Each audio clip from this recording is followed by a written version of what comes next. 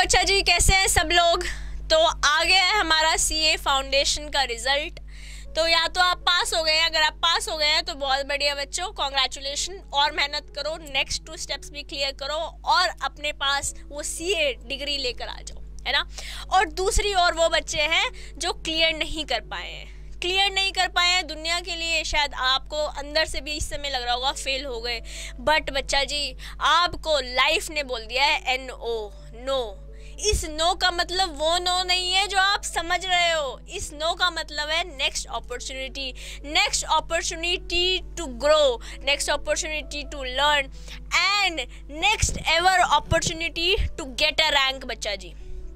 87,084 बच्चों ने हमारा नवंबर नवंबर 2019 अटेम्प्ट के लिए अपियर किया था। जिसमें से 30,500 तिरसठ बच्चे thirty thousand five hundred and sixty three बच्चे क्लियर हो गए। ऐसा क्या डिफरेंट किया? इन थर्टी थाउज़ेंड बच्चों ने जो वो क्लियर हो गए और बाकी फिफ्टी सेवन थाउज़ेंड बच्चे जो क्लियर नहीं हो पाए, ऐसा क्या मिसिंग रह गया उन लोगों में? हमारा thirty five point one zero percent result रहा बच्चा जी। क्योंकि सबसे पहला स्टेप दुनिया में आगे बढ़ने का है सच का सामना। सच का सामना मतलब आपको जानना पड़ेगा। ये काम सिर्फ़ ये आप कर सकते हैं। दुनिया में ये काम आपके लिए कोई और नहीं कर सकता। आपको इंट्रोस्पेक्ट करना पड़ेगा। आपको सच में हैंड ऑन योर हार्ट बताना पड़ेगा अपने आप को। क्या सच में मेहनत करी थी? उतनी मेहनत करी थी जितनी ही ये ये स्टेप क्लियर करने में चाहिए थी। अगर जो बच्चा जी आपका आंसर है यस तो इसका मतलब थोड़ी और मेहनत करनी पड़ेगी। ठीक है जी? अगर तो सच में सीए बनना चाहते हो। अगर आंसर है नो तो फिर तो आपको पता ही है। आपने जान लिया, यहाँ से शुरू होएगी कहानी। अगर आपको बच्चा जी ये लगता है ना कि सीए जो है अपन का, शायद no this is not what I am looking forward to in life तो ये this is not the end of the world CA पे दुनिया खत्म नहीं हो जाती है। आपके पास बहुत सारे और कोर्सेज हैं सी एम ए है सी एस है, आप एम बी ए कर सकते हो सी एफ़ ए कर सकते हो सी पी ए कर सकते हो और खाली कॉमर्स इंडस्ट्री नहीं, आपके पास दुनिया है, कुछ भी आप कोर्स कर सकते हो।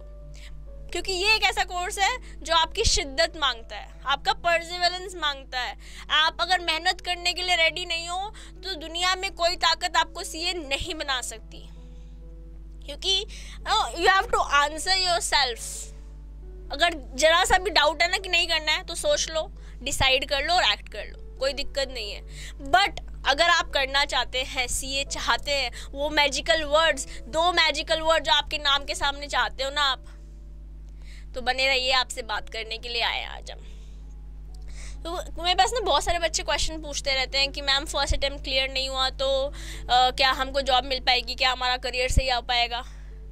कोई दिक्कत नहीं है बच्चा जी, अगर आपको फ़र्स्ट टाइम क्लियर नहीं हुआ। फ़र्स्ट का कितने भी अटैम्प्ट क्लियर नहीं हुआ अल्टीमेटली आपका क्या बनने का है अपन को सीए जिस दिन जिस दिन सीए बन जाओगे ना, वो फीलिंग अलग होगी। उस दिन आपसे कोई ये नहीं पूछेगा कितने परसेंट आए थे तुम्हारे सीए में। उस दिन आपसे कोई ये भी नहीं पूछने वाला कि आपका अटैम्प्ट कितना था। हाँ हो सकता है कि अगर आप सी ए फ़र्स्ट अटैम्प्ट में क्लियर कर जाओगे तो आपके रिज्यूमे में एक वो एडिड एडवांटेज दे देगा एक मेरिट पॉइंट दे देगा। बट ऐसा नहीं है कि आपकी दुनिया खत्म है आप कुछ कर ही नहीं पाओगे सी ए बनने के बाद अगर आपने फ़र्स्ट अटैम्प्ट नहीं क्लियर करा होगा। क्योंकि उस दिन जिस दिन सी ए बन जाओगे ना उस दिन फीलिंग अलग होगी। उस दिन जब आपको लोग आगे बोलेंगे ना सी ए साहब जा रहे हैं या आपके पेरेंट्स को बोलेंगे कि इन, इनकी बेटी है इनका बेटा सी ए बन गया उस दिन फीलिंग अलग होगी। अगर वो फीलिंग महसूस करना चाहते हो ना तो मेहनत का कोई रिप्लेसमेंट नहीं है बच्चा जी। There is no damn substitute for hard work मेहनत करनी पड़ेगी और शिद्दत लगेगी पढ़ने के लिए, आगे बढ़ने के लिए।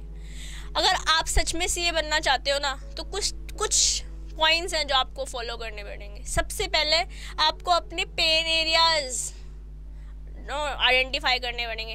किसके बाद जब आपने रियलाइज़ कर लिया कि भैया मेहनत करनी है, सच का सामना हो गया। Next step is pain areas आपका, जो आपकी दुखती नस है ना, जो आपको तंग करते थे सब्जेक्ट जो आप छोड़ के गए थे शायद, या बस रट्टा फाई करके गए थे एग्ज़ाम में नहीं कर पाए थे, वो एरियाज़ को जानना पड़ेगा। उन पर मेहनत करनी पड़ेगी। अगर आपको लगता है कि आपने जो क्लासेस ली थी पहले या नहीं भी ली थी, आपको ढंग से क्लियर नहीं है तो दोबारा क्लासेस ले सकते हैं बच्चा जी।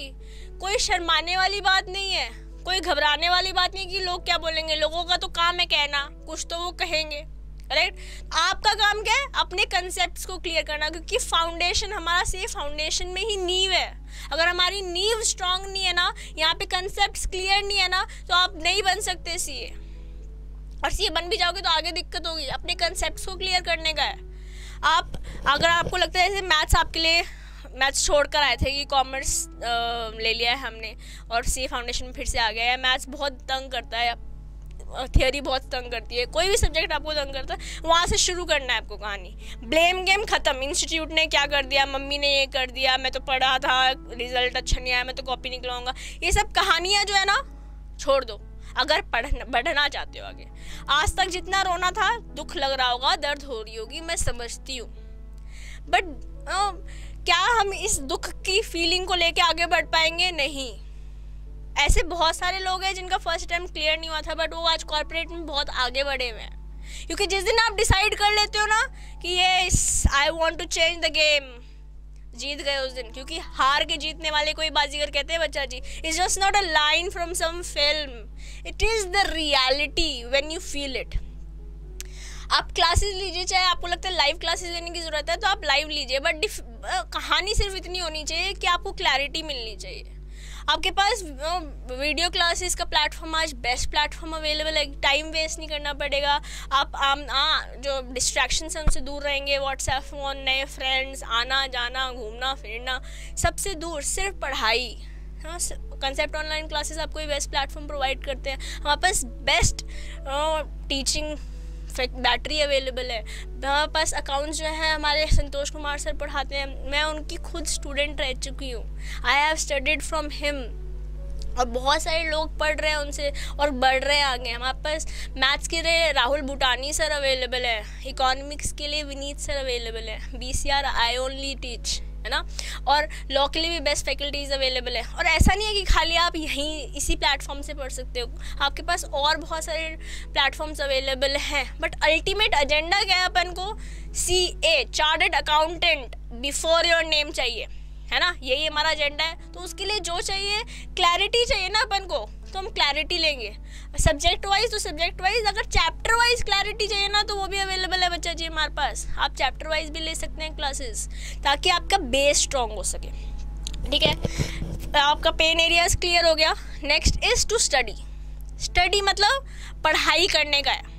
अपने डे को शेड्यूल करने का है। ऐसा नहीं है कि जो सब्जेक्ट्स पहले पढ़े थे, वही पढ़ के चले जाएँगे। वही जो टॉपिक्स पहले पढ़े थे, वही पढ़ के चले जाएँगे। फिर उस मेहनत का कोई मेहनत नहीं है। वो तो फिर उस गधे की तरह हो गया कि बस सामान डाल दो और सीधा चलते रहेंगे। हमको गधा नहीं बनने का है। हमें मजदूरी नहीं करने का है। हमें क्या करना है? स्मार्ट वर्क करना है। हार्ड वर्क के साथ स्मार्ट वर्क करना है। हमें जानना पड़ेगा जो हमारे एरियाज़ छूट गए थे, उन पर काम करना पड़ेगा। बट उसका मतलब ये भी नहीं है कि सिर्फ़ वही करते रहेंगे और बाकी जो मैंने पढ़ लिया तो कहेंगे कि भाई हमारे को तो आता है। क्योंकि भूल जाएँगे यार। यहाँ पे सब कुछ स्टोर नहीं होता रिवाइज करना पड़ता है। तो आपको अपना डे इस तरह से डिवाइड करना है कि आपको थियोरी और प्रैक्टिकल दोनों पे ध्यान देना है। जो भी आपका वीक एरियाज़ है, वो तो लेना ही लेना है और स्ट्रॉन्ग एरिया उसको भी और स्ट्रॉन्ग करना है। ठीक है जी? पढ़ाई करेंगे, दिन में डिवाइड करेंगे, आने वाले तीन महीने फेबररी मार्च एंड अप्रैल ये तीन महीने आपके डिफाइनिंग मंथ्स हो सकते हैं उस डिग्री के फ़र्स्ट माइलस्टोन को अचीव करने के लिए। ये तीन महीने सब कुछ त्याग के सिर्फ़ पढ़ाई करनी है। तीन महीने ही नहीं, आने वाले तीन चार साल जितने समय आपको सीए बनने में लगेगा, सिर्फ़ पढ़ाई है, शादी बर्थडे पार्टी आना जाना, घूमना, सब अभी के लिए छोड़ना पड़ेगा। क्योंकि जिस दिन बन जाओगे ना सीए मैंने बताया ना, वो फीलिंग अलग होगी। उस दिन पैसे भी होंगे यार, ये सब कुछ पे अच्छे से स्पेंड करने के लिए। तो अभी सिर्फ़ बिना डिस्ट्रैक्शन के पढ़ाई करने का। सबसे पहले पढ़ाई, फिर उसके टेस्ट पेपर्स करने हैं ताकि हम रिवाइज कर सकें सेल्फ एनालाइज कर सकें कि कहाँ पे हमारी वीकनेस है, और फिर रिवाइज करने का। रिवाइज ये तीन महीने और तीन step study self analysis and revise and you are good to go कोई नहीं दुनिया की ताकत रोक सकती है आपको आगे बढ़ने के लिए अगर आपने डिसाइड कर लिया. Because the day you take the decision उस दिन कहानी बदल जाती है. बट डिसाइड के साथ एक्ट भी करना पड़ेगा, काम भी करना पड़ेगा. ठीक है प्यारे बच्चों? तो आपके लिए कुछ लाइनें. ठीक है? इन लाइनों को अपने जहन में उतारो, क्योंकि यही है आपको आगे ले जाने वाली एक छोटी सी लेसन क्या लेसन है वो? नन्ही चीटी जब दाना लेकर चलती है, चढ़ती दीवारों पे सो बार फिसलती है। मन का विश्वास रगों में साहस भरता है, चढ़कर गिरना, गिरकर चढ़ना ना खरता है। आखिर उसकी मेहनत बेकार नहीं होती। कोशिश करने वालों की कभी हार नहीं होती। आप कोशिश करो बच्चा, आपके पास दुनिया में हर फैसिलिटी अवेलेबल है। अगर रिसोर्सिस की आज कमी है ना तो उस रिसोर्सिस को बढ़ाने के लिए हम काम कर रहे हैं। अगर इतना ना ज़्यादा मत सोचो, काम करो। ठीक है? आपके पास आपके पेरेंट्स अवेलेबल है, आपके पास सारी फैसिलिटीज़ अवेलेबल है, इसके पास हम, ये तो नहीं मैं कह सकती कि आपकी जर्नी आसान हो जाएगी बट हाँ सिंपल ज़रूर हो जाएगी। अगर आप टुकड़ों टुकड़ों में काम करते चलते हो। और हाँ ये ज़रूर और बोल सकती हूँ कि हम आपके साथ हैं। कोई दिक्कत मत लो, कोई परेशानी मत लो। क्योंकि डर सबको लगता है। गला सबका सूखता है ना, जैसे वैसे डर भी सबको लगता है, जैसे हम बोलते हैं, सुनते भी हैं। बट डर के आगे ही जीते है बच्चा जी। I wish you all the very best कोई दिक्कत, कोई परेशानी आती है ना we are just a call away आप कॉल करिए, कोई दिक्कत आती है, आप अपने आंसर्स लीजिए, ठीक है? काम करिए और आगे बढ़िए। हम आपसे जुड़े रहेंगे, आप हमारा, हम भी आपके साथ उतनी मेहनत करेंगे जितनी आप अपने साथ करने के लिए रेडी है, अगर आप सच में बनना चाहते हैं सी ठीक है जी बच्चा जी? तो हम आपके पास ऐसी कुछ छोटी छोटी इन्फॉर्मेटिव वीडियोस पहुँचाते रहेंगे, ताकि आप और हम साथ साथ चलते रहे आगे। ठीक है बच्चा जी बाय बाय टेक केयर